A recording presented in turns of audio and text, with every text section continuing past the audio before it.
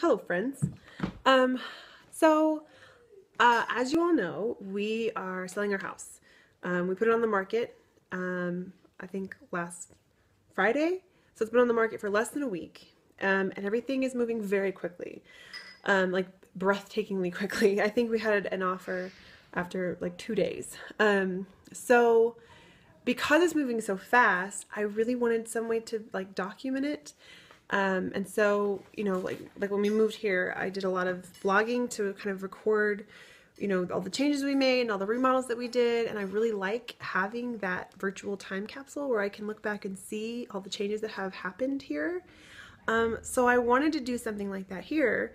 Uh, so I am going to film this because it's moving so quickly. I would really like to have something I can watch later and remember everything that happened. Um, so yeah, we um, we're buying 24 acres out in Red Rock uh, that have a little house. It has a little house on it that's like 800 square feet, and the plan is to um, add on about 500 square feet to that, um, like a great room area, and um, and then remodel the back the little house that is there now into bedrooms and bathrooms. So um, yeah, it's going to be another project. It's going to be another remodel. Uh, what's wrong with us? We're crazy people but we're doing it. so um, as of now, the plan is to live in the little um, house while the great room is being built and then flip flop over and live in the great room part while we gut the back area and then um, hopefully in under a year we'll have the whole house uh, finished which is probably a joke but we're optimistic um, so yeah so we're very excited this whole thing is bittersweet because we I really I mean we love this house. We've like I mean y'all know we have poured our lives into making this our home over the last nine years. We've been here for nine years, you know, making it into something that we really love. And it's it is sad to leave it. And we have the best neighbors that you could possibly have. Um, please don't hate us neighbors. We were really sad to lose them as neighbors. But the good thing is that we get to keep them as friends. So we'll still get, you know, to have, you know, those friends over, but they just won't be our neighbors anymore. And there was something really special about our little block and the neighbors that we have here. So I'm sad about that. Um, but yeah, um, so we are supposed to close if everything goes through with this, you know, offer that we've accepted. We're supposed to close on June the 16th.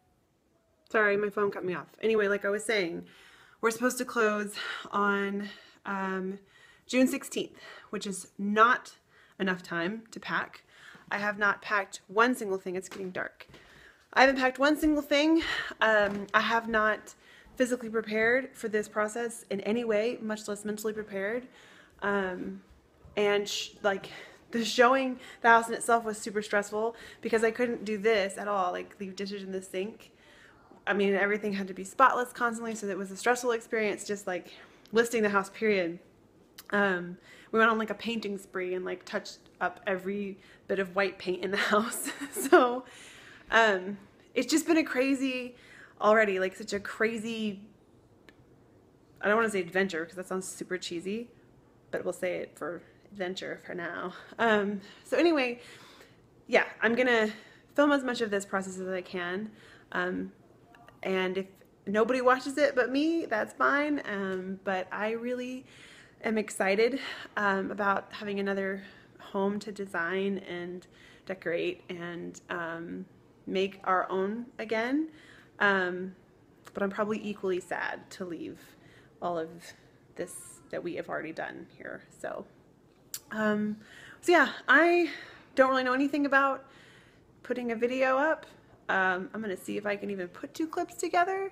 Uh, here we go.